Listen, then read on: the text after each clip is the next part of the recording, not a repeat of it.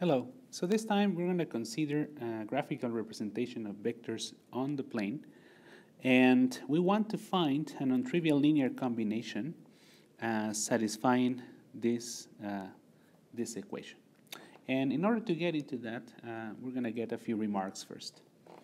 So first, uh, note that we are looking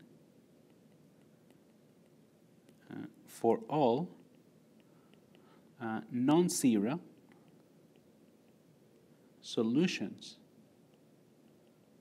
of course, if any, uh, to the matrix equation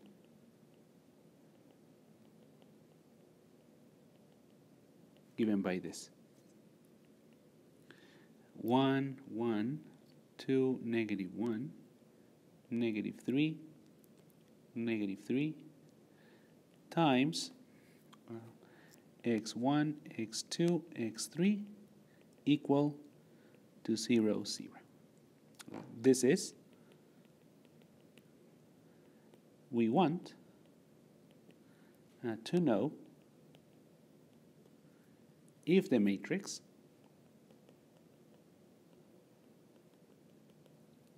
given by 1, 2, negative 3 on the first row, 1, negative 1, negative 3 on the second row has a non-trivial null space. Right? Well, that's one way to characterize it. Here's another one, right, about the problem that we're looking for. Uh, this equation that we are underlying here has an equivalent uh, description. So the equation just described right here um, is equivalent uh, to the system.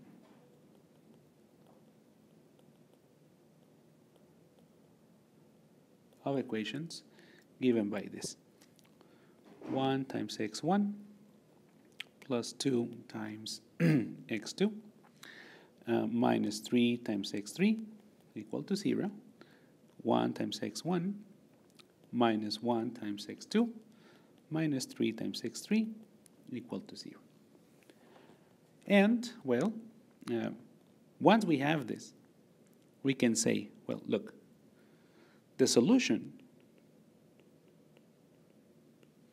um, to any of this equivalent formulations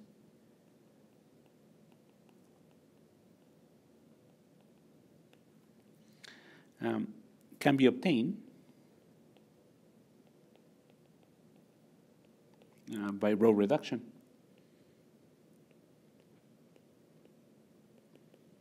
Meaning, once we have a system like this, we can perform, we can find an equivalent uh, matrix representation, obtain uh, the row reduced echelon form of that matrix, and then from there, read out the solution to the system, if any right?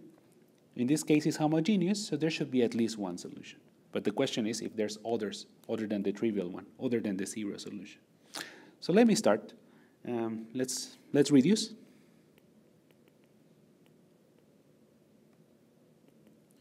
And I'll start with the matrix.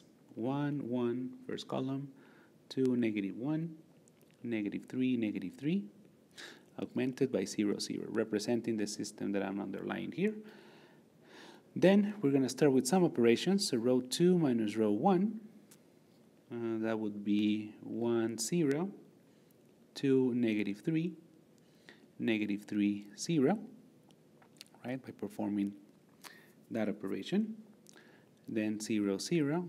Now I multiply by negative 1 third the second row, and obtain 1, 0, 2, 1, negative 3, 0, augmented with 0, 0.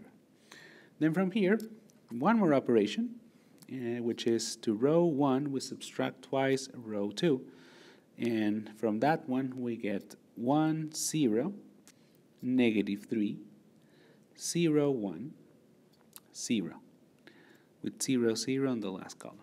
Okay, now what is that this is telling us? Right? This indicates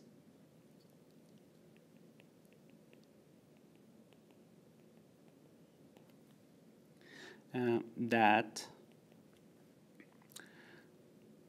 the system that we started with is equivalent to x1 minus 3x3 equal to 0 and x2 equal to 0. Okay, but from here we can transform it into something that looks like this. We have x1 is equal to 3 times x3 and x2 is equal to 0 times x3. So now what we are exhibiting here is that these unknowns x1 and x2 can be made dependent on x3 only. So we have that a vector x1, x2, x3 is in the null space of the matrix that we were discussing originally, meaning this one, right? If and only if we have x1, x2, x3 equal to 3 times x3, 0 times x3, x3, which of course can be described as uh, 301 times x3. Right? For every real number x3. Well, what else can we say from here?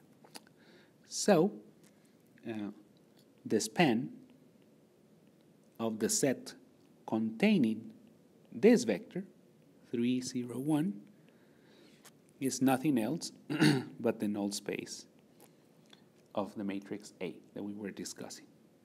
Uh, why is that you say that? Well, look, we're indicating that a vector, whichever it is, in order to be contained in the null space of A, it has to have this particular form, right? But that is the form of a linear combination of elements from this set, which is exactly the description of the span. That means that we have encountered this one to be an spanning set for the null space of A. Okay. So, coming back to the original problem, right? Finding this non-trivial solution. So, if uh, we set x3 to a non-zero real number,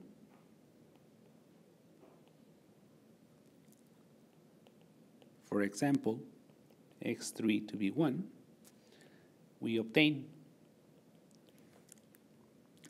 x1, 1, 1, plus x2 times 2, negative 1, plus x3 times negative 3, negative 3 is equal to 3 times 1 times the vector 1, 1 plus 0 times 1 times the vector 2, 1, negative, uh, plus 1 times negative 3 and negative 3. Then from here we perform some algebraic reductions. We get 3 times 1, 1 plus 0 times 2 negative 1 plus 1 times negative 3 negative 3 which indeed is equal to 0. So now what we have exhibit is a non-trivial solution to the homogeneous equation that we were discussing. So with this, we finish, and I hope that you like it. Take care.